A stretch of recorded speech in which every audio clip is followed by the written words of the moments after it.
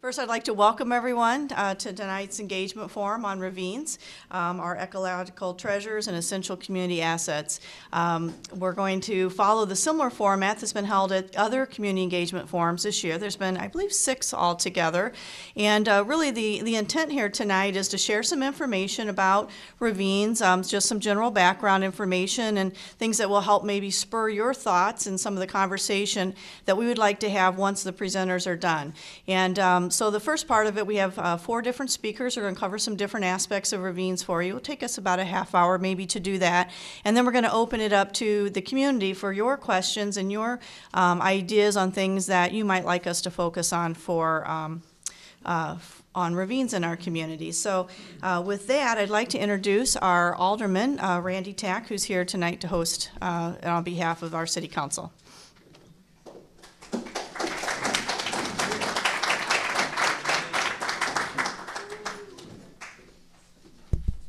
That one. Um, thanks, and uh, sorry for the attire. I was uh, coming late from work. Um, anyway, um, so thanks for coming. The idea for having this forum to, uh, to talk about ravines was was mine. Uh, it came from uh, a city council discussion we had that was indirectly related to ravines. It had more to do with fences than anything else. But anyway, in the process of looking at the uh, ravines and the fences in the ravines, it came to me that uh, we I really don't know very much about them. Um, and what the status of them in town is, despite the fact that they're, you know, a major feature of our landscape and uh, fairly important to the ecology of this area. And much of the city was actually designed around them, so I thought it might be interesting to have a discussion about them. Uh, anyway, I'd like to introduce the people, the knowledgeable people who are going to speak tonight. Uh, first would be Glenn Adelson from Lake Forest College, um, John Sentel from Lake Forest Open Lands, Peter Gordon from the uh, City of Lake Forest Parks and Forestry, and Chuck Myers. Um, and we'll just move on to them and then we'll uh, have a few questions and some discussion afterwards. Thank you.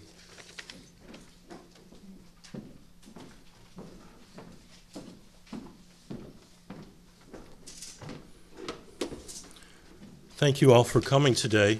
Uh, We're going to try to move that, that's the last or second to last slide. Thank you. I'm Glenn Adelson, uh, uh, Professor of Environmental Studies at Lake Forest College. Uh, I'm here to talk about the geological history and the ecological uniqueness of uh, the ravines in Lake Forest and along uh, the north shore of um, Lake Michigan. Um, the ravines that we have were created by a unique series of events, and because there were there were a unique series of events historically, uh, it is a unique ecosystem and has a unique community of plant and animal species. Uh, the um, the beginning of the story is the end of the last glacier, as many of you know about 15,000 years ago, there was uh, a mile and a half to two miles of ice uh, where we are. And as the, as the climate warmed and the glacier receded, it melted, uh, there were times when the amount of melting uh, equaled the amount of new, new glacial deposition, uh, and that could last a hundred, several hundred years. Um, and uh, when that happened, when the glacier stalled in one place, uh, this is when moraines were formed. Moraine, M O R A I N E. Uh, we are on the Highland Park moraine right now. And uh, moraines are formed by debris falling out of the glacial ice, gravity taking the, the um, sediment that the glacier was carrying, anything from fine clays to large boulders would fall out, and when they fell out in one place, that gives us the topography that we have where we live right now. So you know that uh, despite uh, the reputation that the Chicago area has, it is not a perfectly flat land. We have uh, rises and we have bottoms, and, and um, we know that we have bluffs uh, right before the beaches, um, or actually uh, technically right behind the beaches um, on Lake Michigan. So, about 14,000 years ago, uh, there was the deposition of the Highland Park moraine. Uh, the next unique thing that happened was about 10,000 years ago, the weight of the glacial ice as it uh, was changing the landscape uh, opened up a, um, an out path for the, all the water in Lake Michigan in the north, uh, the Ottawa River in Canada. Basically, Lake Michigan drained to the north. Lake Michigan is about 285 feet deep at its deepest point, and the, the water levels in Lake Michigan at that time, 10,000 years ago, with this outflow to the north, uh, actually dropped 250 feet. So what was left was whatever the basin that was about 35 or 40 feet deep. Uh, and so the Lake Michigan itself uh, became much, much smaller. And, and there was a, a very long um, basin shaped shore. There was a forest there. People have found stumps of large trees uh, on the, uh, on the floor of um, the, the lake floor of uh, Lake Michigan. Uh, and when that happened, that remained in place for about 2,000 years. Uh, and because you can imagine what the um, uh, what's now the basin looked like, it was like a bathtub, uh, but it was empty of water. So when when um, rain and snow came, when rain fell and snow melted, it started to form streams that went into this rump Lake Michigan, which was called is called Lake Chippewa by geologists. Um, these streams, because of the um, the steepness of the uh, the sides of this basin, um, started to rise, and uh, the headwaters eroded in uh, in the direction of land. At the same time, there was still glaciers melting and forming streams above, uh, going towards the bluffs of the Highland Park Ravine, uh, High- Highland Park Moraine, I should say. And uh, at about 8,000 years ago, uh, headwaters of the lake bed erosion and the streams that were coming overland um, started to merge together. And this was the beginning of the formation of the ravines that we have today. Um, so, as you can see, this is a very uh, unique set of events. This has not happened um, in, in very many places in the world. Let's see if this works. What I want to show you here, I don't know if you can make it out. Uh, these are the drainage basins, the major drainage basins of um, North America. And what I want you to pay particular attention to is uh, how close the Gulf of Mexico drainage is to Lake Michigan, exactly where we are. Exactly where we are. We are right next to the, um, to waters, to, to land where if water fell, it would naturally go into the Gulf of Mexico as opposed to Lake Michigan. Um, so this gives us um, a view, uh, a, a much closer in view of where we are. We're about where that uh, triangle is on Lake Michigan, and you can see the uh, um, North Branch, the three uh, forks of the North Branch of the Chicago River, um, just to the west of Lake Michigan. Um, yes. you want to use the mouse, it'll, it'll be your pointer for you. Yeah, let me see if that works. It's right there, about where we are, but then it slides down the incline. Um, So in any event, uh, I want to, I want to, Chuck, if you can go to the next one. Nope, the other direction. Thank you. Uh, This gives us an even closer look. Uh, And what you see here is um, the watershed basically a subcontinental divide between water that goes directly into Lake Michigan through the ravines and water, if it falls on just to the west of Green Bay Road, it goes into the middle fork of the north branch of the Chicago River and the Skokie River. If it falls just to the east of um, Green Bay Road, that water goes directly into Lake Michigan. You have the other continental divide that's right here just to the west of the toll road, where water falling to the west of this uh, stippled line will go into the Des Plaines River, which flows into the Illinois, which flows into the Mississippi, which flows into the Gulf of Mexico. Now, Chuck, if you can go back one. Um, and uh, what you all know, uh, uh, the- a famous story of Chicago, is under natural conditions, water that flowed, that, that dropped between Green Bay Road and that uh, Continental Divide near the Des Plaines River would have naturally gone out into Lake Michigan as well. But we dug canals, we humans dug canals and turned the Chicago River so it flows backwards. This is a very important point because uh, our ravines, this means that our ravines are the only recharge of Lake Michigan. The, the water that falls to the west of Green, Green Bay Road that initially would have gone into the north branch of the Chicago River would have gone out through the Chicago River right at uh, where it meets Lake Michigan downtown. It doesn't do that anymore. It goes to New Orleans. And so water that would have replenished Lake Michigan no longer replenishes Lake Michigan. Uh, Chuck, if you could move it forward for me. One more.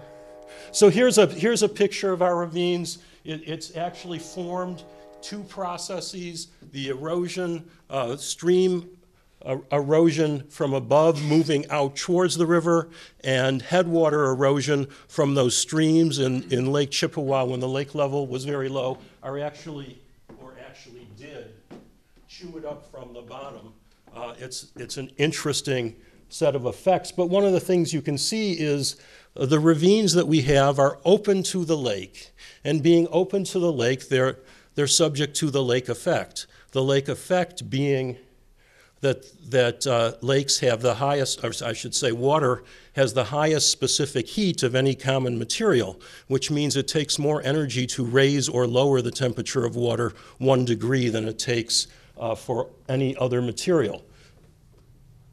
What that means next is that the lake is cooler in the summer and warmer in the winter than the land. And so these openings of the ravines are cooler in the summer than the rest of the landscape, and that gives rise to the unique ecological communities that we find uh, in our ravines. And so I'll just give you a couple of examples, and then I'll turn to John Sentel, who will have a lot more to say about this. Uh, Chuck, if you can just show the next couple. So we have in our ravines in Lake Forest, we have plants of the far north. I take my students on field trips to northern Wisconsin to learn the northern flora, and we see plants like ground juniper far north. It is not found anywhere else in Lake County. It's not found anywhere else in the greater Chicago area, but it's found in the ravines. And the next one, and the most, uh, one of the most beloved trees of all, is the paper birch or the white birch of the far north. And these last two pictures were both taken just two days ago in McCormick Ravine, which is um, probably the um, most ecolo- the ravine of the highest ecological quality of any of the ravines of the North Shore. So, John, I'll turn things over to you. Thanks, Chuck.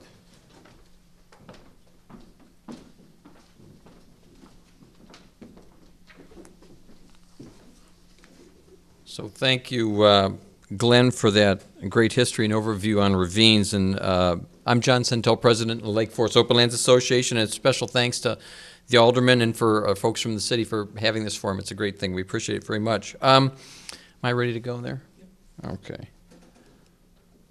So um, I think everyone tonight here would agree that Lake Forest is a special place for many reasons, but including our open spaces and our natural areas. And by living here, we are the recipients and stewards of the great geologic uh, and natural gift that Glenn just described. There really is no other place nationally, uh, just like where we live in terms of natural landscapes and habitat diversity, except perhaps Northeast Ohio along Lake Erie, and Cleveland has the Browns and the Indians, so that's not that much fun there anyway. So, from time to time, we really need to stop and consider where we live, and we have the incredible, we have this incredible freshwater sea, and we have beachfront, and we have bluffs, and we have upland woodlands, and we have uh, prairies and savanna, and of course, these remarkable ravines that you see on this slide right here and that is over by Bluffs Edge Drive. Um, from a natural standpoint, it's not only beautiful, but has real conservation value and environmental significance beyond our borders. There's really nothing like these ravines. And Lake Forest is really what I like to call a conservation community. It's something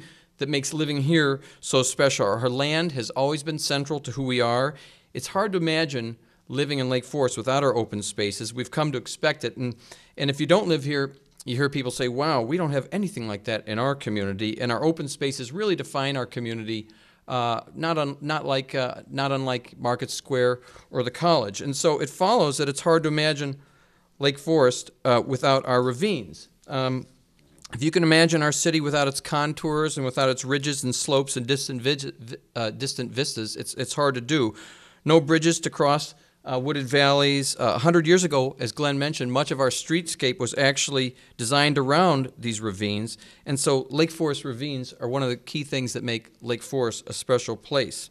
Um, Glenn talked about our ravines geologically and touched upon why they're so special in terms of habit, habitat, in terms of microclimate and rare species. And in fact, many of you may drive by this gate on Sheridan Road and not know what's behind there, but beyond the gate is McCormick Ravine, McCormick Preserve, which is considered truly a crown jewel, not just in the Chicago area, but recognized by the state of Illinois, of, in, of state of Illinois as something that is exceptionally uh, unique in its natural value. So while many residents appreciate our ravines to a certain extent, I think that um, I think that many times we don't really think about them beyond their distant beauty that we see. They certainly haven't always gotten the attention or the understanding that they deserve. And like many habitats, such as wetlands and prairies, over the course of time, they were largely misunderstood and negatively impacted by things such as development. They may have been forgotten or altered or degraded or filled or whatever, as their core value to us really wasn't understood and appreciated. And along the entire North Shore of Chicago, historically, we really haven't embraced ravines um, why our ravines are so important and how to take care of those ravines. Their importance in terms of biodiversity, um, how essential they are for birds. Birds travel all the way from South America and depend on being able to stop in our ravines here and take a break. Um, how our ravines help to clean our water, how they protect our soil, ultimately, how they contribute to the health of Lake Michigan, and also how they support our economic infrastructure. But things are changing, and people are recognizing that. And this is tonight's a, an example of how that's happening. I just got back yesterday from the State of Lake Michigan Great Lakes Beach Conference up in Sheboygan, and at this meeting, attended by environmental professionals um, from around the lake, it was ac- agreed to define Lake Michigan as this. They said an outstanding natural resource of global significance, under stress, and need of special attention. And that's how they define Lake Michigan. And as I listened to it, I thought, you know what? Many ways, we could define our ravines that way as well.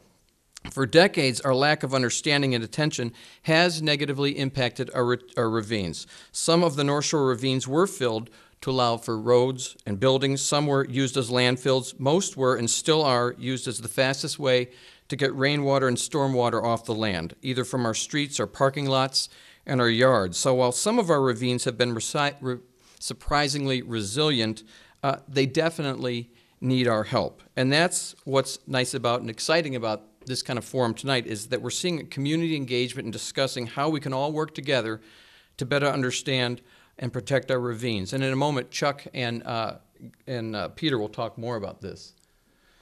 Um, let me see here. There we go. I thought I'd refer back to this chart again and reiterate a, an important fact on our ravines. Our ravines are owned both publicly by the city and also privately, um, mostly privately, by individual landowners, yet they course through and connect many neighborhoods and several institutions, such as the college and, and woodlands. But really, we are all connected to these ravines and their health because anyone who wants clean water in Lake Michigan wants to protect the infrastructure in our community, wants to protect our beautiful vistas, appreciates the diversity of bird and animal and plant species in Lake Forest, and especially, as Glenn said, anyone who lives east of Green Bay Road is directly connected to the health of our ravines. And the only way to protect them, because of this circumstance, the only way to protect them is to work together as a community. Um, Glenn touched on the tremendous natural value of our ravines. Most of us don't trek down in the ravines very often, but they are beautiful and they're full of life and home to a wonderful array and diverse species right in our backyard, such as uh, owls, who incidentally help to keep our skunk populations down in town. Uh, they are red-headed woodpeckers, trillium, and foxes, just to make a few, name a few. Over 250 species of birds, over 250 species of birds use the Lake Michigan Flyway and depend on the ravines and the shoreline habitats. So they're very important. Now, I've been asked to touch on some of the challenges facing our ravines and what we might do. Uh, protection and restoration of our ravines is a very broad topic, and much of this, um, much of ravine restoration is very site specific. So, in my remaining few minutes, I thought it'd be best to give a broad overview of some of the key issues facing our ravines.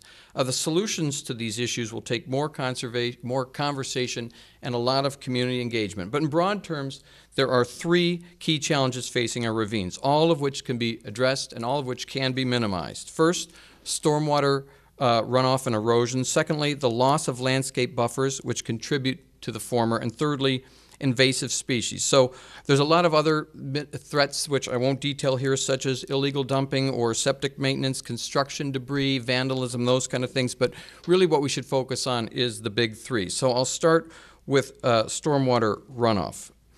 This is really our ravine's biggest challenge. And for those of you who attended the community forum on water, uh, this may ring a bell. Our ravines are constantly changing. They're slumping, shifting, and much of this is natural. A century ago, much of the rainwater in Lake Michigan and Lake Forest meandered and percolated down its way to Lake Michigan via our wetlands and our ravines. And this was a natural process, but that has changed. Over the last hundred years, our goal has been get the water off the land as quickly as possible, uh, get it off our roofs and our gutters and our driveways, send it in the storm sewers, and we've been successful. We've been very good at this, and this is what's stormwater runoff. And most of this east of Green Bay goes to our ravines. So if you live east of Green Bay, your stormwater flows through the storm sewers and heads directly to Lake Michigan via the ravines. If you live west of Green Bay, as Glenn talked about, it goes to the Gulf of Mexico. So some rainwater naturally finds its way to the ravines still. And along the way, whatever fertilizer you put on your lawn and it's not absorbed, or the car wash you dump down the sewer, or the water you direct from your roof or parking lot heads directly to Lake Michigan via the ravines as well and ends up in the same place we get our drinking water, Lake Michigan. Now, here's a picture of stormwater uh, from Fort Sheridan heading into Lake Michigan. As you can see from this picture, during a storm event, the amount of water rushing down our ravines can be incredibly intense. And you're correct if you're saying, but hey, I thought ravines naturally transport our rainwater to the lake. But what isn't natural is the amount of rainwater and the kind of rainwater that our ravines transport today. Our ravines, ravines used to take about this much water, and now we expect them to take about this much water, and they just can't do it. You can't put uh, a round peg in a square hole. So, this amount of stormwater is what causes substantial erosion in our ravines, and it compromises the so- slopes. It sends valuable soil and seeds and plants that protect the ravine right out to Lake Michigan and ultimately reduces water quality and the stability of our ravines. And poor water quality is a result of all the sediment in the lake and all the pesticides and the fertilizer and the grease and the metals and the animal waste and organic matter that we send down the sewer systems. So, ongoing erosion at this pace goes beyond just impacting water quality, and it, it actually undermines home foundations, roads, bridges, damages sewer lines, and, and causes loss of land. So, addressing the health of our ravines has a real economic impact as well as environmental impact. And the reality is, most scientists expect that the severity of rainstorms and associated floodings, like we saw uh, in last April, to increase. So, a solution well, you've probably heard the term green infrastructure before, and in terms of stormwater, that really means keeping the rainwater, excuse me, on the landscape as long as possible and letting nature economically do the job nature intended to do. It's best for nature and economics to try and keep the rainwater where it falls and reduce runoff and to keep the bad thing out of our run the bad things out of our runoff like fertilizer, like driveway sealant, like salt and pesticides. There are ways to do this rain gardens, limit watering, rain barrels, less impervious surfaces, planting trees, et cetera, et cetera. But we need to start to embrace those, those, those approaches. Many invasive species thrive in poor soil that has been compacted, eroded, polluted, or degraded. They're opportunistic and will quickly take over where a native has been compromised, and many of these invasives are what we call backyard escapees, plants innocently put in gardens and yards that are bad actors, but we simply weren't aware of them when we put them in our gardens. And because ravines are so unique, many people simply don't know how to recognize some of the bad actors in the ravines. So, first step is to give our ravines a helping hand is to identify who these bad guys are. And this is where organizations like Lake Forest Open Lands Association, our garden clubs, the city, and local conservation experts, and there are many of them around town, can really help uh, to, to identify these guys. It really does take a community to manage invasives because one yard connects to the next yard, which connects to the next yard, which connects to the ravine. And so dealing with invasives is only possible if it's a group effort and if private homeowners get involved. So it can't just be left up to our city and the local land trust. We all need to work together.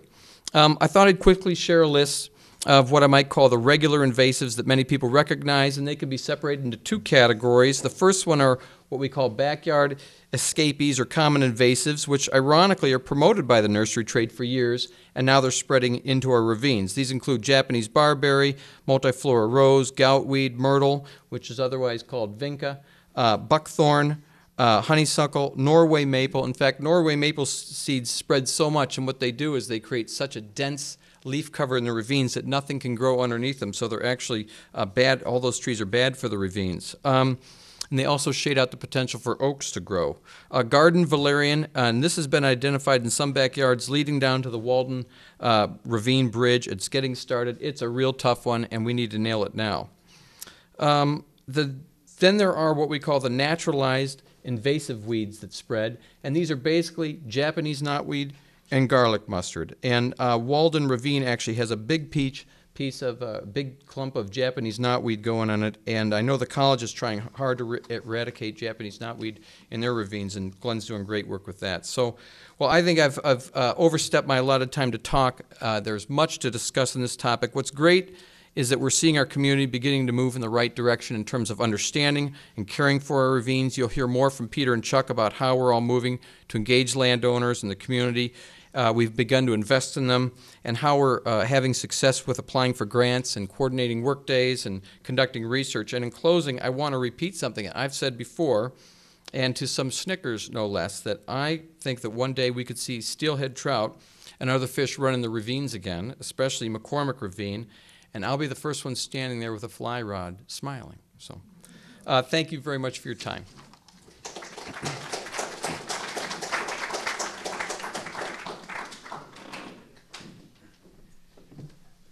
Thanks, John.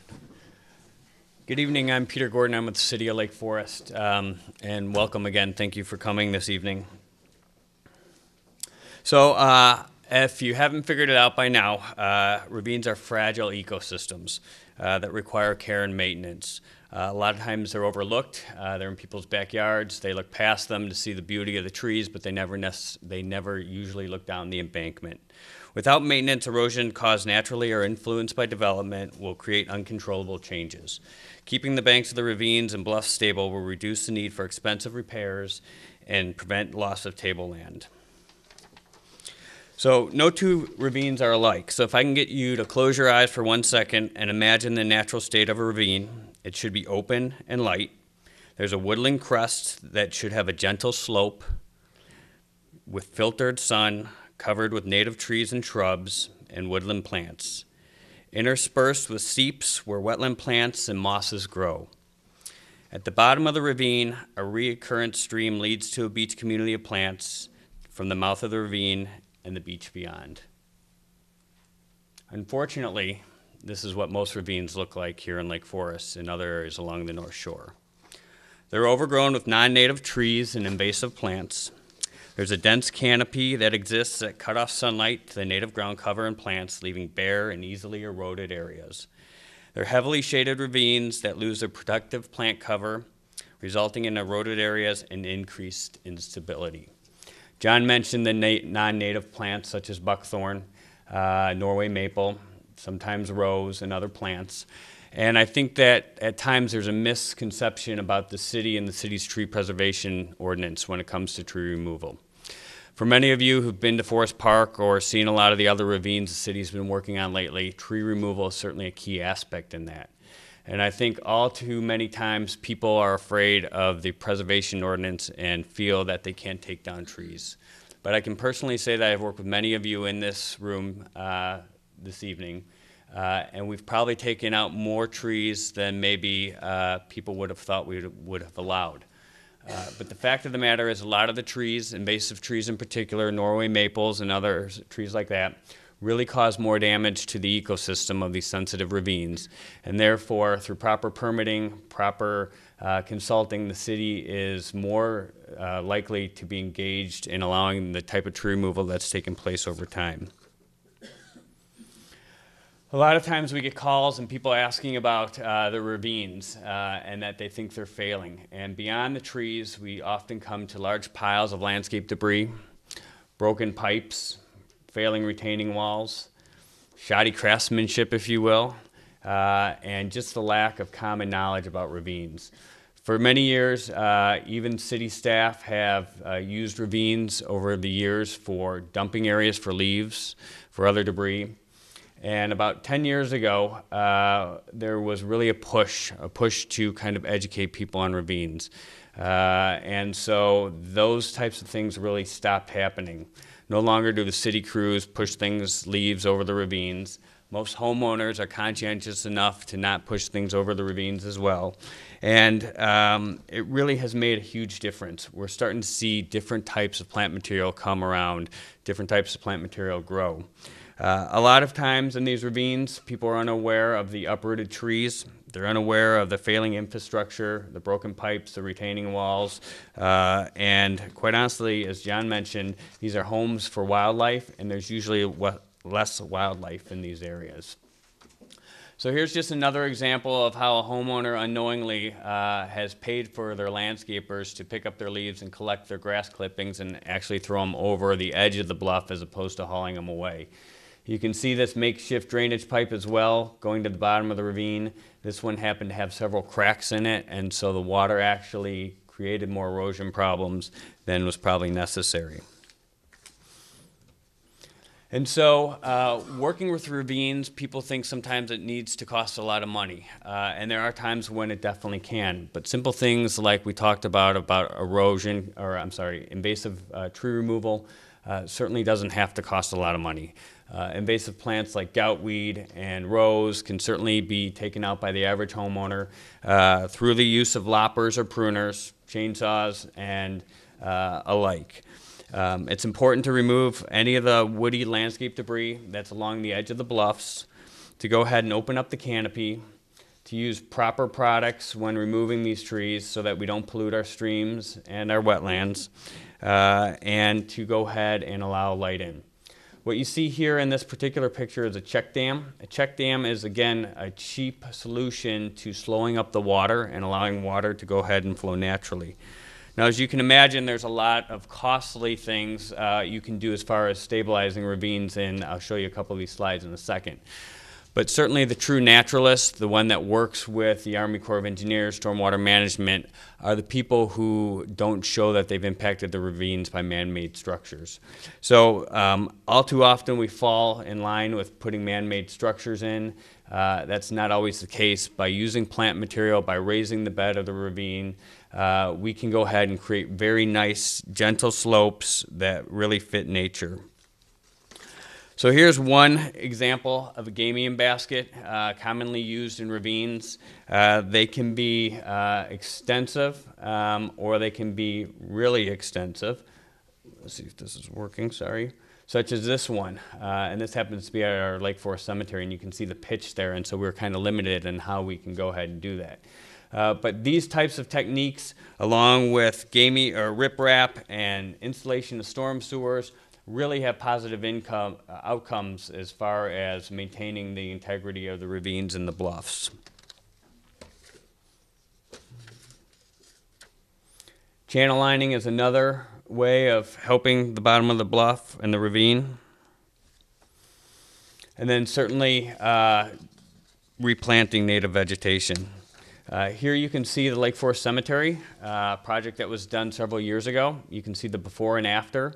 Uh, we talked about the invasive trees, we talked about the undercutting and the uprooting, uh, what that causes as far as uh, the degradation of the ravine system. On the bottom, you can see more of a meandering slope. It's not as steep, there's less trees, there's more ground vegetation there. Uh, there's a subtle degree of rocks on the bottom to help slow and filter the water as it makes it to the lakefront. And so replanting ravines with native plant material, plant material that's not invasive, is certainly a key component to this. Uh, the city has on its website a ravine guide for residents, which lists a lot of plant material that can be used. Uh, we're changing it as uh, we educate ourselves, either through forums like this or through national conferences. Uh, and we recognize that ravines are key areas uh, for our community. Again, uh, before and after, you can see the gabion baskets were used on the bottom. You can see uh, how this was before with the slanting trees there, uh, what that could do i with um, if it were to fall and erode away, the amount of damage that could cause. Uh, and so it's really important uh, for residents, especially in this day and age with the threat of emerald ash borer, to get into their backyards. Um, we are probably going to lose over 100,000 trees here in town because of emerald ash borer. A lot of these ravines are heavy in ash trees. When ash trees break, they become brittle and they fall into these ravines. And ultimately, what they're going to do is they're going to alter the flowage of the water, cutting into people's slopes. Uh, eventually, sloughing will take place, which will uh, lose some of people's greatest investment, their home uh, and their property and certainly do long-term damage. And so um, it's important to get out there to do an inventory, not only on what's occurring now, but what could be occurring in the future. Um, and so with that, I think there's a lot of great opportunity out there. Chuck's going to go ahead and talk about some of the opportunities the city has uh, followed up with, and um, if anyone has any questions later on, we'll all be happy to answer them. Thank you.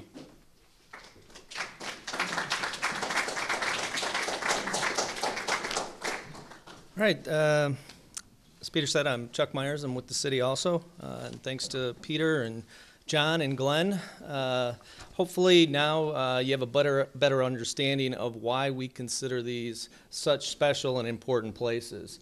Uh, so I want to uh, make sure we give you enough time to be part of this discussion. So I'm going to be pretty brief.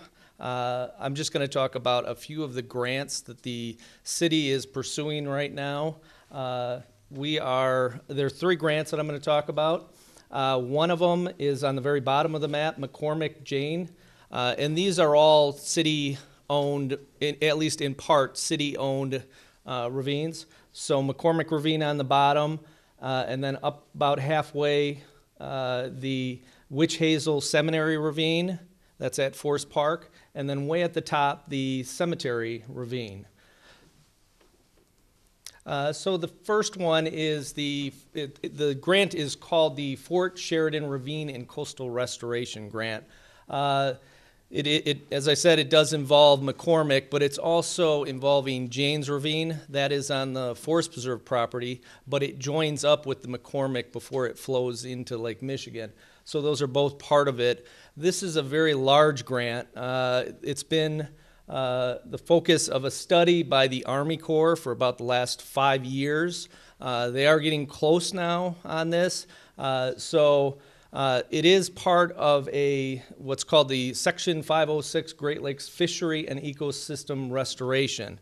And this is, uh, as it says, fishery. So what John was talking about earlier with McCormick, maybe having fish, this grant would certainly help to accomplish that.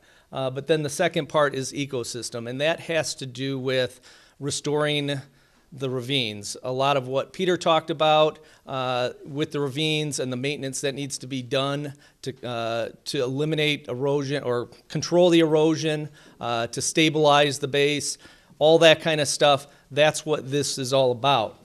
Um, there's also a lot of structure that's left in the ravine at McCormick. It's the old concrete and uh, drain tiles. So all that would have to be removed, and that's extensive. If you've ever been out there, you've seen it. Uh, but it, along with that, uh, as I mentioned, uh, stabilizing the ravine, planting it with natives, of course, uh, and habitat restoration that would be uh, suitable for lake fish. Um, this is a, the grant itself uh, is a 15, I'm sorry, not the grant, but this program covers a 15, it's $15 million uh, to complete right now is the estimate. In Lake Forest, there is about uh, 2.5 million of that uh, to do our ravine and Janes. Um, the partners on this are Lake Forest, or Lake County Forest Preserve, uh, Open Lands, the town of Fort Sheridan, and of course the city. So this, as I said, this has been a long time in the works. Uh, we're still working out the details, uh, but we hope to be moving forward and finding out uh, if that will be awarded soon. Uh, so we're pretty excited about that. The McCormick, as everyone else has said, is a very special place. That's the one that we really uh, want to try to do something as soon as possible. So the second one, I'm going to go to the other end of the city, up on the north east north uh, east corner, uh, the cemetery ravine. Uh, Peter had a picture there of it, of some of the previous work that was done out there a number of years ago. But the uh, two years ago, the city uh, hired Conservation Design Forum to evaluate and study the ravine and make determinations of uh, kind of a feasibility of what needed to be done or what could be done. Uh, it did show that the ravine is in poor quality right now. There's a lot of erosion, a lot of down trees in it, a lot of things that need to be addressed. Uh, so working, uh, what what they did was put together a plan for us, a restoration plan. We then took that plan and we applied for a grant uh, with the Illinois EPA. Um, this is part of the Clean Water Act. So we um, we would like to restore and stabilize the ravine uh, bottom, and that would include some of those same techniques with uh, things like adding riffles and ponds and uh, stone, uh, but also the introduction of native plants and, um, and, and to help stabilize the whole system. Uh, the project partners on that one, you can see, uh, list the Lake Forest Collaborative for Environmental uh, lead, uh, stewardship. Sorry, I put the wrong thing on there. It's actually leadership, uh, but that's good too. But it is leadership. Um, so, uh, if you don't know about the collaborative, it was formed about a year ago. It uh, it's a group of different institutions in the city, around the city of Lake Forest. It includes Lake Forest Open Lands. Uh, John Sentel uh, is the representative there. It also includes the Lake Forest College, which Glenn uh, is a member, is the representative there. Uh, I am on it with Kurt Volkman as city representatives. Um, and the school districts as well. Uh, so, as you can see, it's a mix of uh, people that are heavily involved with education and uh, management of city properties. So this is a $473,000 project. That's the total cost. Uh, that's uh, and the city would have to pay about 40% of that. The final uh, grant that I want to talk about is you can see by the name. Uh, this is the Lake Forest Environmental Collaborative Ravine Restoration and Outreach Program. This is something that was put together by the group I just mentioned. Uh, about a year ago, when we were formed, we decided to uh, take a few things as our first year objectives. And one of those things was ravines. So this was very important for us uh, to get, get off to a, a start in looking at what we could do for the ravines in Lake Forest. We centered this on the Seminary Ravine, the one that's uh, that flows out uh, near uh, Forest Park. Uh, and this is a grant that is designed to be educational, uh, but also to engage the residents. So it does involve some stewardship type activities, uh, land management, uh, but it, this one is really more about educating the community about the importance of ravines. We, we think this could be a model for other communities once it's developed, but we are looking at uh, putting this uh, uh, this plan into effect. So it, it fits with the goals of the collaborative. It's a it's it's all about education. Um, it's a hundred and fifty-eight thousand dollar project, uh, and as you can see, it, it is. Uh, uh, administered by the Department of Natural Resources uh, through their Illinois Coastal Management Program. This uh, is the first time this grant has been offered. It's a brand new series of grants, and we are very happy to announce that uh, last Saturday, Governor Quinn announced that we are uh, the recipients of one of these grants. So we're very excited about that and honored and looking forward to going forward with that.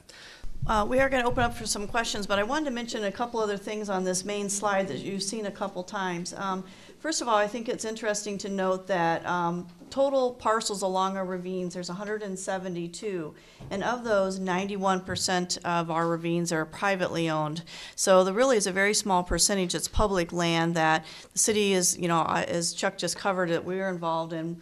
But uh, really, it's going to take such a community effort here to really make um, uh, progress on our ravines. And John touched on that. Obviously, everybody that's speaking here tonight has a real desire to see everyone work together on the ravines. But uh, it's kind of a unique uh, aspect because when we talk about the ravines, um, I don't think a lot of people in town know that they're primarily privately owned uh, ravines. So just thought that I wanted to call that out because that was on the key at the top. I know it's a little bit hard to uh, to read. So we'll leave that up there, but um, we're just going to open it up then for questions from people. And um, uh, we really want to also kind of there was a few questions on your agenda about what do you see as the challenges and uh, to move us forward and to start to talk about this and what do what could be things that we want to uh, pursue as we go forward into the future as well.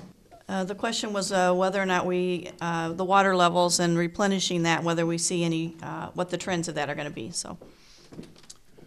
Uh, Yes, uh, uh, as we uh, talked about, for those of you who were here uh, for our water um, symposium, when you turn on your tap water, when you wash a carrot, when you take a bath or a shower, the water is coming out of Lake Michigan and going into the Gulf of Mexico. That is true. The replenishment comes from the rain, rainwater and stormwater that goes through the ravines.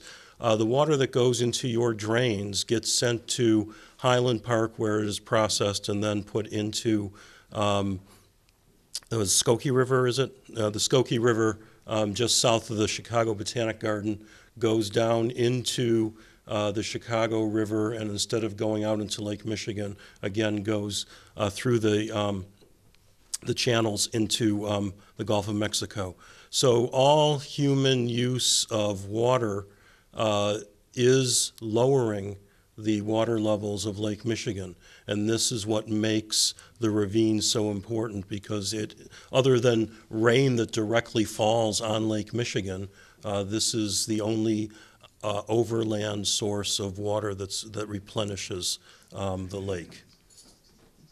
So, do we believe it's gonna dry up in like forty years? Do, do we see it going down another foot or? Uh, It certainly could go down another foot in, in 40 years. It's not going to dry up in 40 years, but there are uh, other examples of this. The Aral Sea, which is on the border of Uzbekistan and Kazakhstan out in Central Asia, was in fact larger than Lake Michigan, and it- it has been reduced to 20% of its uh, former size.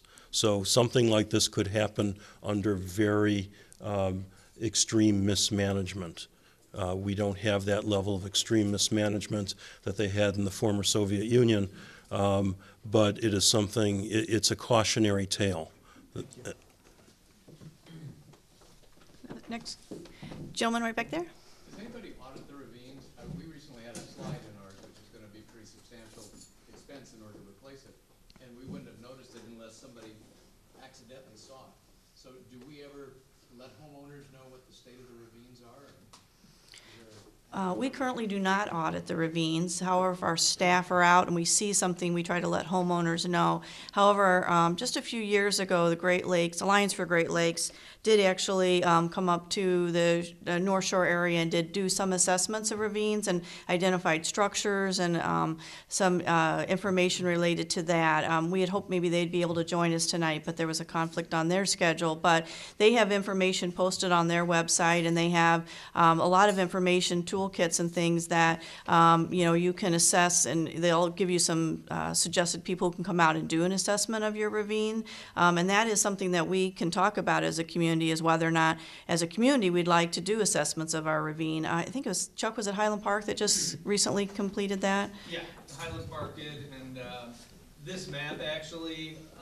Chuck, you're gonna have to talk. Yeah, I'm.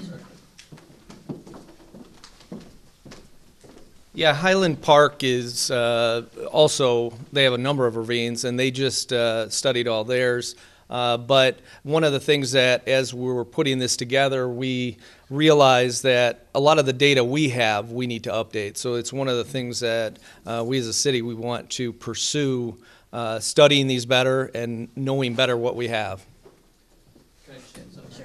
I would say that, that McCormick Ravine, which, um, Lake Forest Open Lands manages along with the city, we do have audits, we do a, a lot of study in there, and we do track things in there, and so that's a, a benefit, so we know it works. And I would say as part of the Illinois Coastal Management Program grant, we will be able to present to homeowners some of these tools, which whereby we can work with you, the city, Lake Forest Open Lands, to have you audit. If we're interested in, in, to see best practices, is McCormick the place we should go? Uh, not right now. Uh, no. Down at the, uh, John, could you repeat the question in the microphone? Oh, go ahead, Chuck, You uh, you're looking for other places that you can go to see best practices. I would suggest uh, if you go to the Lake County Forest Preserve property at Fort Sheridan, they have two ravines that they are, uh, they have done some restoration on. Particularly the Hutchinson Ravine uh, is one that has been very successful. There are more to the south, but that's the closest one. You talked about ninety-one percent of ravines are privately owned, and I, I assume in many cases, um, split when the property line goes down the middle of the ravine. What can the city, um, come up with to offer incentive to those property owners to take on the expense to restore a ravine? And it- is the city looking at anything to help homeowners, homeowners, um, want to do the projects? We don't have an answer on that right now, but uh, the question was, uh, can the city do something to incentivize uh, private homeowners to take on the ravines and work together and, and to make improvements? Um, We don't have an answer for you on that one, but we, it's one of the things that um, we certainly want to add to the list as a future opportunity to talk about, uh, especially now that we're um, seeing more interest by the private homeowners and working on these kinds of things, too. Um, I don't know if Glenn, did you want to add to that? Uh, Any summary statistic can be misleading. The 91%, if you look right in the center of the map, you see that orange-colored large property is mostly Lake Forest College. That's a private institution, so it's privately owned, but uh, Lake Forest College is committed to do whatever we can to restore the ravines, and most of the classes that I teach have a ravine restoration aspect to it. So uh, it's not quite as high as 91%. I would just, I would just suggest that that's a great question, and I think because, because these ravines are so valuable to our city and for the natural infrastructure, we need to find a way to incentivize and engage landowners to help us, to, to make, to save them, to make, improve our water quality. And I think we can be really creative on that, like we have been in so many other things. So that is, that is, I think, one of the great opportunities for our community. I- I- I'm just gonna add to my wife's comment, that the court, the issue is, so many property lines run down the center of the ravine. If one lo- landowner on one side wants to do it, you can't just do half the ravine. No, You you can can't. maybe do some slope remediation and so forth, but you can't do on someone else's property unless they give you permission to do so, and then the question is who's paying for that? So that's part of the the corollary. So Yeah. most of these things are actually split ownership in the ravine itself. Yep. Good question for the college. Um, Um, you're, that, I- I'm, thank you for pointing out that that huge section is Lake Forest College land. And obviously, as a, as a teacher and uh, environmental and advocate, um, with your classes, do you have students in the ravine able to identify, you know, do they get a hands-on? And if so, is there a way to create a community volunteer base of helping to clear some of the invasive species and all, such that citizens of Lake Forest or other communities an opportunity to get into ravines, to understand what it takes and how to remove, because they're learning from you or your colleagues. Uh, The answer, um, uh, the question was, uh, do the students get hands-on work in the ravine? Do they learn how to identify both the native and uh, uh, invasive species uh, and work on uh, uh, uh, promoting native species and eradicating invasive species? And the answer is absolutely yes. Uh, at- at two of the classes that I'm teaching right now, uh, one class on Tuesday, we were down in the ravine puzzling over the Japanese knotweed, the knotty problem of the Japanese knotweed, um, and and just going over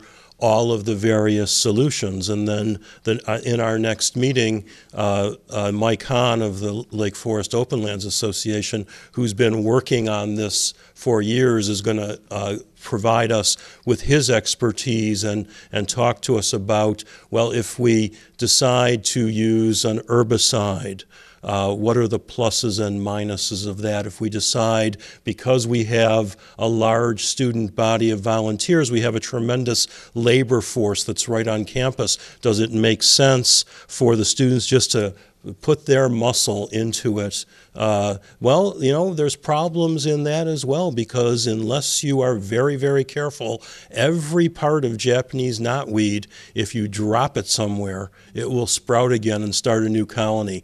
Uh, does it make sense to just buy a big tarp and cover it for five years so it doesn't get any sunlight and it can't reproduce its carbohydrate stores in the underground root system? There are, there are all these various ways. N- n- there isn't one of them that's perfect. Every single one of them has pluses and minuses. But uh, this uh, collaboration that we have has been very fertile so far.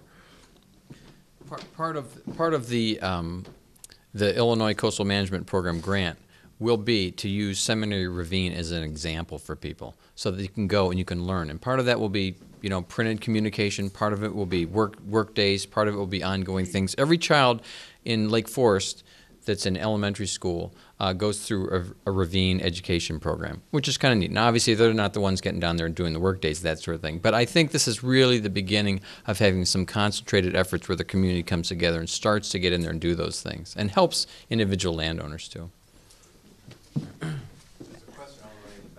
Okay, I just wanted to mention too, we're gonna have the Lake Forest College, we're gonna make sure it's an eight-year program, so we keep these students around for a really long time to help us. No, question in the back. Uh, I'm from Lake Bluff, and um, I wanted to point out, in terms of best practices, there's a grant-funded ravine project that just finished up two months ago. It's at Moffett and Ravine Avenue, and it involves, uh, from your slides, there are a couple rocky solutions, and one was gabion baskets, which are really not preferable, because when you think fifty years down the line, those baskets will rot and will fall out. So it seems to me the state of the art that was, that was done in this Lake Bluff ravine was loose rock, what we're calling riprap, that can change the contour of the ravine as it erodes. But it's, it's easy to see, just go to Moffett And look, uh, either way, and it- it's, it's a rather immense project. Thankfully, grant funded. Uh, that was one issue, but in Lake Bluff, we have the same issue you just described in terms of ownership and this patchwork of, well, in Lake Bluff, we've got village, park district, and private. And, you know, you walk ten feet and you could be through three different ownerships, which makes management of the problem impossible. And I'm wondering, from the Lake Forest city point of view, how bad does it have to get before we start considering something like, dare I say, eminent domain, or just call the waterway a municipal resource or something, so that we can employ, you know, one plan that doesn't require hard-pressed homeowners to go bankrupt or something, managing this incredible problem, and I know that in the Walden Ravine area, it's terrible, and there just has to be, at some point, reading or encouraging or sending mailings to Ravine homeowners. What are the prospects for that change in how the municipality will approach this resource question? Bob, would you like to field that one? Thank you, leave me the easy ones, huh? Or Alderman Edelman? Um, It's a great question, and actually, I think it was stated on numerous occasions. I think this is an area that we are really just learning about. We're just scratching the surface right now. There have been some um, staff conversations and discussions about what would it mean to uh, take over all the ravines in the city of Lake Forest. Uh, I think, uh, you know, back of the envelope, it would be millions and millions of dollars simply because we would have to compensate all of the property owners the value of their ravine. Uh, Some might be willing to give it to us. I think many of them would be looking for some just compensation, which they would be rightfully owed under eminent domain. I think there are other approaches, though, that we could look at, other creative financing mechanisms that we could use to try and work with uh, the individual homeowners. And I think tonight is simply uh, to start the conversation and the discussion. And I think either through the collaborative or through other meetings like this, we have to continue those conversations and try and work on uh, coming up with the solutions, because I think we all recognize this problem's not going to go away. It's only going to get more expensive, so we need to begin working at it and not only educating the people who are here tonight, but unfortunately, those that are not here tonight probably need more education than those that are. So um, I know I don't have a good answer for you, but that's simply because I don't think right now we've put a magnitude of dollars on that. And I think if we went to the taxpayers and said, well, we need $100 million to purchase all the ravines in Lake Forest, I'm not sure that would pass. And so. Imagine if there was. Right, and so I think we have to come up with creative ways, because it is a balancing act as well. I think we have to recognize that there are some property rights here, and if I uh, didn't live on a ravine and I live somewhere else, I would say, well, yeah, I understand the stormwater aspects of the ravine, but if you use my tax dollars to improve your property values, is that fair? So I think those are the kinds of conversations that we at least need to start engaging in and having in our community. Um, just to add to that too, I don't know, um, a lot of the ravines, I think in those neighborhoods, there's good homeowners associations or there's a group that know each other and live nearby. I mean, we would encourage you to connect with them and start talking about your ravines and taking a look at them together and see what small things you can do. Because Peter mentioned it, you know, we have made some progress, but we certainly think that there could be a little bit more, um, awareness and, and maybe a lot of times they look over the ravine, they don't look down the ravine, and, and that could be a, just a nice, uh, easy way to start. Um, I'm going to go to the young lady in the back who hasn't asked yet, but then we'll come back. Yes, this is just a question to clarify the map up there. So is that like, is that big road, right, the straight one, is that one, uh, Green Bay or Western, or where is that? This one here? Yeah, Okay, That is, that's Western Avenue. okay, and then the, the large green, um, area Down down at the bottom, Uh-huh. that is, uh, like Lake Forest owned, and is that near like, It's, it's not Lake Forest, no, this is, it's in Lake Forest, but it is Lake County Forest Preserve. oh, okay. So the Starting lighter here. See that line right there? This, Okay. this would be McCormick Ravine, just this portion. So that's near Woodlands and all that kind of stuff? Yeah. Okay, thank you. Sure. Yes. Um, wait, the, the city, Okay. I'm curious why the, I'm curious why the city has not passed an ordinance though regarding leaf dumping or yard waste dumping, as other cities on the North Shore have passed. Um, it's obviously recommended not to do it, it's in all the brochures, and I'm happy to hear the city workers themselves have been, you know, educated about it, not doing it. Why have we not done an ordinance ourselves? Um, Do you not know of one? Come on. I'm Kathy Cerniak with the city also. Uh, The city does not permit, city code does not permit dumping in ravines or on vacant lots or, um, so it's a matter of enforcement and identifying who's doing it. So it's, it's a challenge. Years ago, we got a letter from the city telling us not to do it anymore, and then we looked and got after our landscaper who stopped it and- and hauled all that stuff out. If we do situation, if we do see, see situations, we first send out a co- courtesy notice. Uh, we can proceed with a notice of violation. Gentleman right here? somebody told us that, um, oak trees need the acid from the leaves that decompose. So if you have oak tree leaves in your front yard and you put them back in the woods with the other oak trees, you're basically dumping oak tree leaves that have the acid that the trees need. So I'm not sure that I concur with the One of our arborists or somebody want to answer that? Glenn, this is up your alley. Peter, Peter, maybe do. Want to repeat the question, Peter? Just, The question was uh, about oak leaves and the fact that they do create uh, an acidic base, which they do. Uh, I think the real question here is, are you taking other leaves from your property and dumping it over the ravine? So uh, naturally, leaves fall out of the trees. Uh, they land on the ravine floor.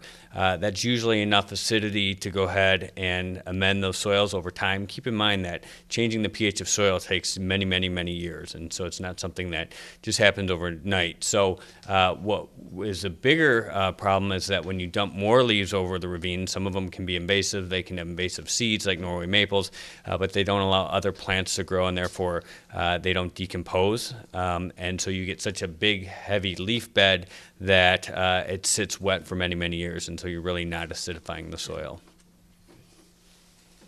Second question as far as, somebody indicated that the salt from the roads that we use for snow removal get into the ravines. Is the city thinking that using sand instead of salt like they do in Wisconsin is a uh, procedure to? Yeah, well, uh, Michael Thomas is here, our Director of Public Works, uh, but uh, you would be right in saying that it does make it to the ravines because they naturally go into our storm sewers. Uh, the problem with using sand here is that that's what we have, our storm sewers, and so it actually goes ahead and settles out, and then we have sediment and buildup, and we have to go ahead and actually extract that out because not all of it will make it to the ravine uh, bottom. And so uh, for us, sand is an effective, or I'm sorry, salt is an effective product. Uh, it's a melting agent where sand isn't. It's more of a gripping agent, uh, and because we have so much invested in our infrastructure, uh, sand is just not the product. Where you go up north into Michigan, you'll see that they don't have that same infrastructure, and then that naturally uh, goes down a lot of their topography. Okay, thank you very much. Sandy? Yeah, I've got a, just a couple of comments. I've probably walked at least, oh, five, six or seven ravines, the length of them. And, uh, McCormick Ravine has great potential if you can spend the funds to get rid of that infrastructure right at the mouth of the beach. Once that happens, it could be a wonderful demonstration area. One ravine you mentioned, but, uh, not much was said about is Walden Ravine. I would love it if, I think that's an ideal area to start some of the restoration projects. One, fish return there to spawn. Uh, They're doing that now. There is a path that goes from the beach all the way up to Ringwood and Walden Lane. It's the most accessible of all those ravines except for McCormick. Uh, You can easily get people in there for, you know, educational restoration activities. It'd be great. The only disadvantage there is there's no place to park. You have to get special permits if you're gonna get a group down. Mayflower, I've never seen any fish there. It's steep sided, you can't really walk along there very easily. It looks like it has potential, uh, but I haven't seen it. Seminary Ravine, that's the other one where you have, uh, you have white suckers coming in, they're twelve to fifteen inch mature fish, and they go all the way up to the college. It's amazing how far they go up the stream. And, uh, it wouldn't take much to, particularly early spring in Walden and, uh, and the Seminary Ravine, have some volunteer crews go in, make sure you don't have logs jamming up some of the stream base that have come down over the winter. Make it a little easier for that, you know, ecosystem to continue to thrive. The, uh, I don't think the, uh, cemetery ravine is ever gonna get fish returning, but it'd be nice to have some of the, some of the flora thrive out there and be inserted. So there's a lot of potential, I think, in several of these ravines, and I think the big, the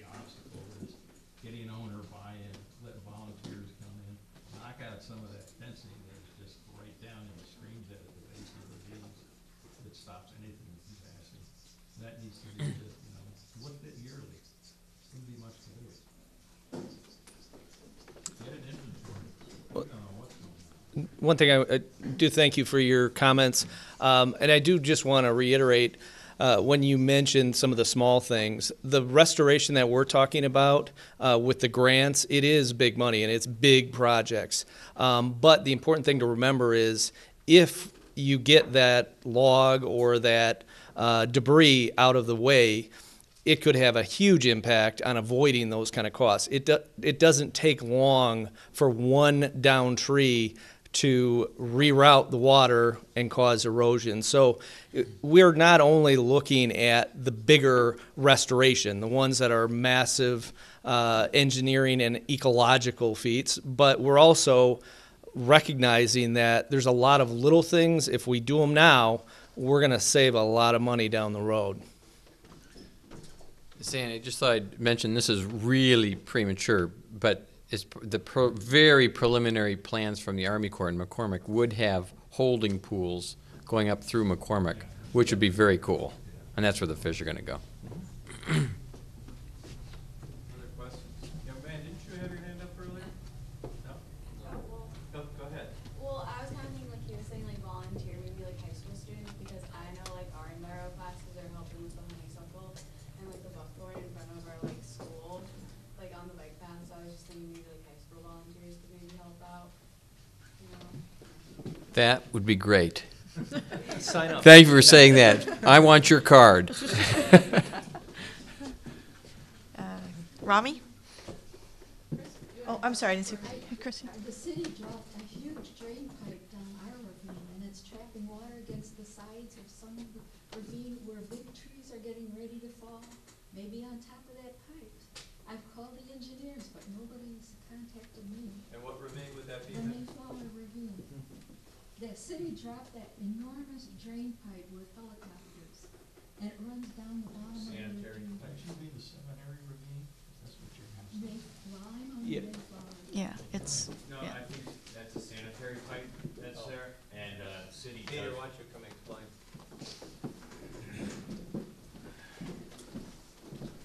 Uh, That particular pipe, the large black pipe that you see down there, that actually goes from uh, the mouth of Lake Michigan by Forest Park Beach and then heads up down Mayflower towards your house. It's actually a sanitary pipe, and we do walk that quite frequently because you can imagine uh, we don't want any accidents to occur. Um, And a lot of those homes are private, and we do a lot of tree work to maintain a good buffer. So if there's something you see, please let us know. We want to address it right away. Um, The last time we were there was approximately four weeks ago uh, to take just a 12-inch tree uh, away from the pipe. Um, And go figure, it was an ash tree. So uh, that is something that we, we do on a regular basis. Our water and sewer department walks that, and the forestry crews follow through uh, with any hangups that are there. Rami, you want to go next? Go ahead. Yes, first of all, I wanted to congratulate, congratulate all of you, because I, I think you did a really good job tonight of, um, pointing out what a completely unique ecological, ecology this is in the world. And, and, and I wanted to also thank you for all the hard work you've done in getting these grants, because I know that's, that's arduous and, and, um, and you should be congratulated for that. The, I, I wrote down just a, a, a bunch of dot points that occurred to me. Um, for example, you know, someday, John Sentel, I hope that there's a North Shore Ravine Association. So, so that there is a not-for-profit that is, that unites all of these communities in understanding this. Um, second of all, I think your dream is something that would really fire people's imaginations. That is, to, to restore the fish and the amphibians is something that I think young people at, all the way through old timers like me could really understand. And, and from the buckthorn killing the, the, the frogs with the toxicity of their leaves and their stems, and all the way through the, you know, the concrete at the base of the ravines, um, um, it's something that, that, that does, you know, that is a goal that people can, can strive for and, um, and understand. Um, working with groups like Trout Unlimited, obviously, And even, um, something simple like naming all the ravines, so there's buy-in, you know, you, I can see lots of little blue, blue ravines like the North End Forest Park or Woodbine, whatever, you know, get people engaged in, in, in, you know, owning them. Um, And, and, and the city needs to help us create a model, you know, maybe it's a ravine overlay district on the east side of, um, Lake Forest, because, for example, I have gigantic asphalt driveway, um, um, it drains right into the street, storm sewers in the street. I don't, you know, um, when that was put in, it was before me, but the permit needs to look at how to capture that water before it flows in, or Western Avenue, where are those storm sewers going? Are they filtering through, through, through plants before they go into these storm sewers? Um, um, workshops for maintenance crews, you know, um, there's just, there's just like an I know there's an endless thing that you're all thinking about, but, but, um, but there needs to be that, that, um, umbrella of, of a single goal, and I'm just throwing out the fish and the, and the frogs.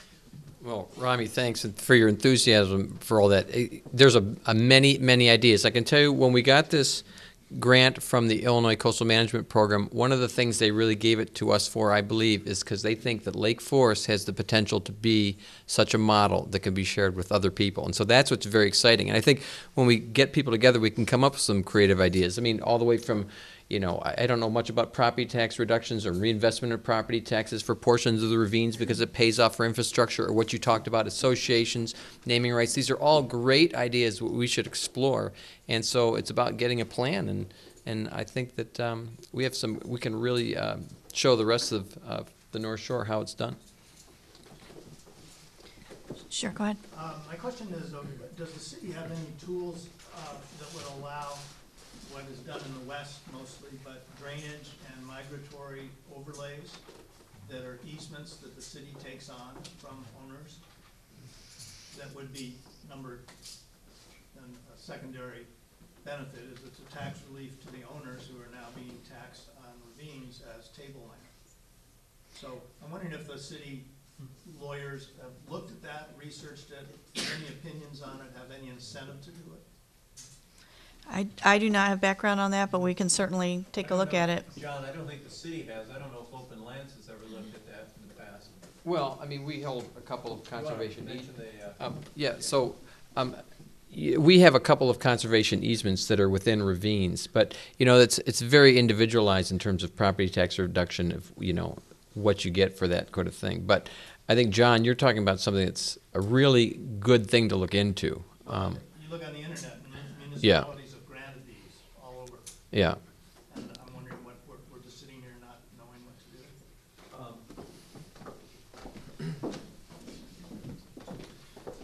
I think, John, my only comment would be, uh, to the extent you have some of that information, feed it to us, because some of the other, now I'll just use the historic preservation tax credits that are there, are actually state law. So we would have to look to state law, but we're happy to put something together and work with our local legislators to try and make that happen. Okay, we'll go with Sandy, and, and, and if there's somebody who has, well, last one, because I know we're, we're running late and want to keep people too long. So go ahead, Sandy. Comment, uh, am I correct that the Army Corps of Engineers identifies the streams at the bed of the ravines as wetlands? Hmm. Therefore, that might give some power to municipalities to make sure that they're not degraded in any way with fences falling in or, uh, you know, if stormwater drainage is not handled properly. Might be an avenue. to Um, you know, the, the question was, does, how does the Army Corps classify ravine beds? And that is a very big question, and there's two ways that the Army Corps could be involved in ravine beds. One is by classifying as wetlands, the other one would be waters of the United States. And it, it, you know, it's very individualized, but I would say you're talking about the big gray area right there. Um, and, um, so hopefully that's, you know, issues that will resolve themselves, you know, and won't have to be presented, yeah. Okay. Our Um, final question? This, this spring, the city embarked on, I guess, a big study on the stormwater, uh, plan across the drainage study, where does that stand? It started, I guess, Bob L. sent a letter out to everyone in the city. And where does that stand? Michael? What's been learned from that?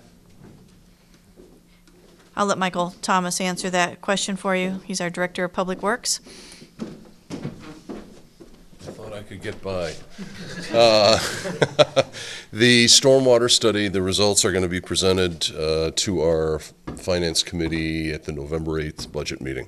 So we have preliminary results that have listed approximately 12 projects uh, throughout the city. So we're going to review those with our Finance uh, Committee members and then go ahead and budget and work at those uh, in the upcoming years.